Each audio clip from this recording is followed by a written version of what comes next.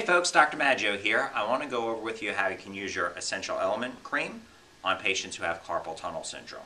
Obviously, you're going to go through all your protocols that you normally do that great, get great phenomenal results with your patients, but you can also incorporate, encompass the essential element cream as well. Take a little bit, and you're going to put it, if they have true carpal tunnel syndrome, obviously right on the wrist. I like to do on the front and on the back, and rub it in nice and good.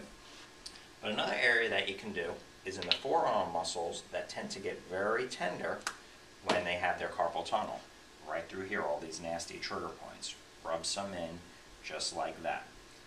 When you get that cream in on both sides, if you're a user of the PulStar instrument, you can use this nice flexible tip that we have. We're going to put it in myofascial mode. 10 pounds of pressure is enough. And what you're going to do is just rest the person's forearm right on you, and you can use this to come back and forth over those sensitive trigger points and allow it to glide, and as you're gliding, that will help drive it into the muscles.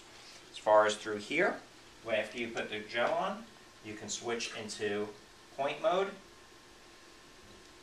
5 or 10 pounds of pressure, stimulate the bones right of the wrist, and you got to be real careful with that because if they're real sensitive, that can give them quite a bit of discomfort going into their fingers and into their hands, so you may have to adjust it down to the five pounds pressure setting.